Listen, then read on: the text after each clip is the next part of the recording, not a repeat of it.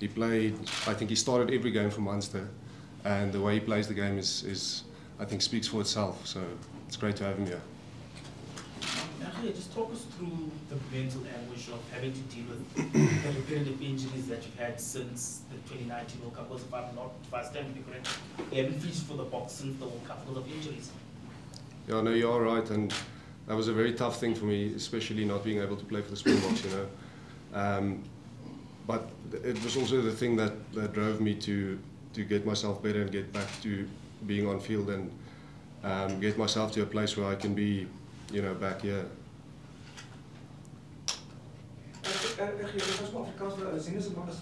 Jy. Ja, reg.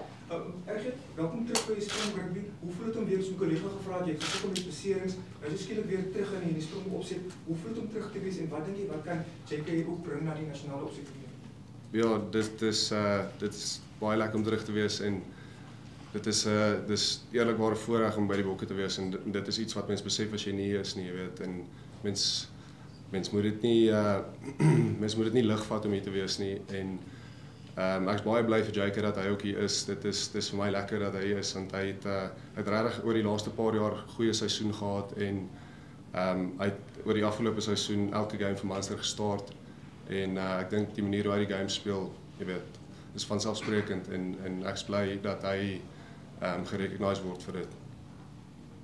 As as ek vra gou van gevra Afrikaans, ek wil nie by by Lennon stap nie. Dit kortliks die belangrikheid van van hierdie van die van hierdie hierdie um, oefenkamp vir julle en kortliks jou antwoord oor hoekom julle JK gebring het en die, belangrikheid hoekom vir julle voel hy so belangrik vir hierdie opset.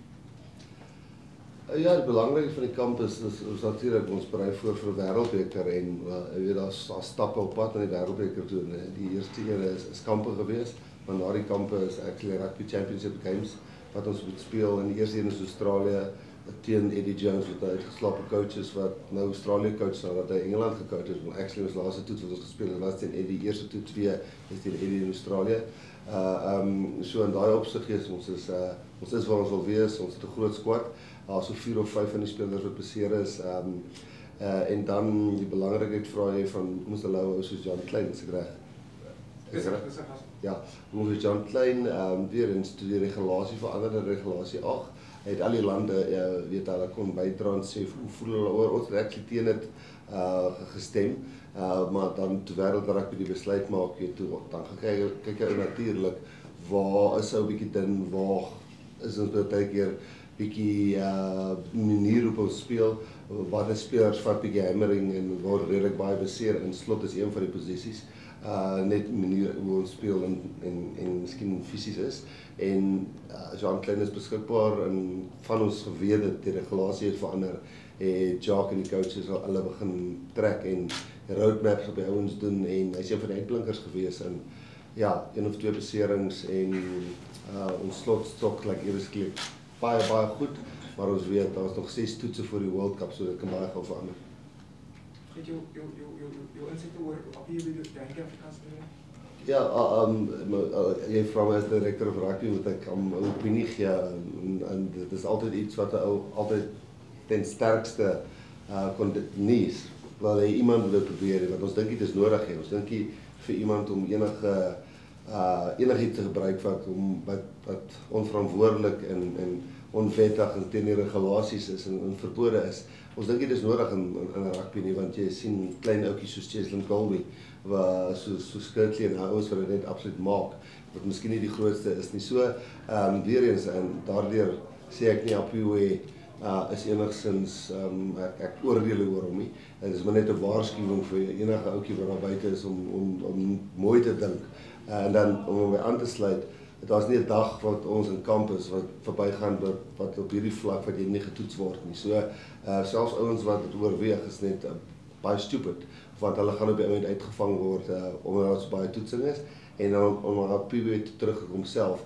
Um, en ek weet baie mense stem nie saam met hierdie nie. Hierdie is miskien meer 'n persoonlike opinie is dat ek glo in tweede kansse. Ek glo as 'n ou vir 4 jaar uh, geskort is, um, dan was daar 'n rede hoekom hy 4 jaar in daai tydperk is en het hy vir sy hy het 'n prys betaal maar ons hoop hy kom terug hoop hy speel skitterend vir die Sharks en hoop ons kan weer na vir die bokke kies.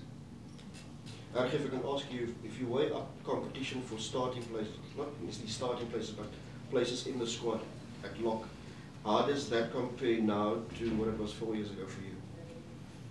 Well, I think um, the the most important thing in this squad is we all understand our role, and you know uh, we work towards that, and we work well together as well to to strengthen each other and to you know the competition between us is actually great because I think it brings the best out of us, um, and that will only allow us to be to be better. You know, so I don't know if that answers your question, but yeah. Argie was daar tye gewees sedert die vorige wêreldbeker wat jy in tyd geïnteresseer was gewonnen het of jy ooit weer die sprong op gaan speel?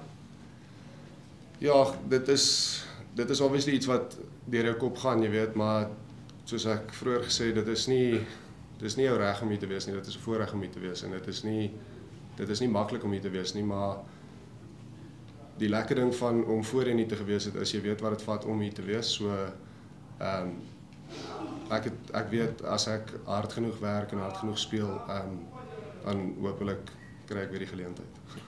Talking competition, uh, um, how are you enjoying the competition that you're having with, with with, especially with how well you two guys played throughout the ERC? I mean, it's not really, I wouldn't say it's, it's a competition. We just merely try to help each other. I mean, uh, watching Steven play for the Stormers actually pushes me to actually get better. So I enjoy that. I mean, he's a quality player. He's already won a World Cup. So it's something that I aspire to as well. It's like I see what he does and I try to do it as good as he does or better. So it's a great, like it just, you know, you just go as a player naturally. So, yeah, I enjoy that really a lot. And also, as your coach is saying, you guys are solely focused on that first task against Australia. Reality is that in the back of your minds, um, athletes' minds, you guys are probably looking ahead to that big assignment in France. The competition is going to get much bigger internally in that squad. Oh, I get you, but uh, I mean, you climb a mountain step by step, really. So, like, we have to do well now in the championship so we can build momentum to the World Cup. As much as it is in the back of our minds, but we know we have a task ahead. Like, you have to play well now. You have to show that you're actually good enough to actually make that squad in the end.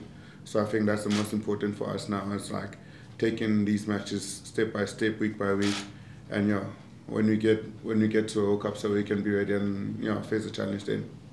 Archie, um, being out of the national setup for four years, you know that's a, a lot can change in that time. But has it helped you that there's quite a bit that's still the same? You know, basically your whole locking department's very similar to the 2019 World Cup. Has that helped you ease back in easier? Yeah, it's definitely um, it's it's easier to come back into a system and you've worked with guys before and and you know them, so they they actually got me up to speed pretty quickly, you know. So I'd, I'd say that's the biggest difference for being away so long is is that uh, you know connection with other guys. And uh, Ox, obviously, uh, you know, uh, dropping out of the URC quite early is disappointing for a lot of the guys. But has it helped you guys being involved in the Springbok camp here from early, from Durban to, to Cape Town, now here? Has that helped uh, give you guys uh, quite a bit of momentum, you know, after dropping out of the competition so early? Yeah, I guess so. I mean, you get aligned much more, but like it's always like better. You wanna be aligned all together.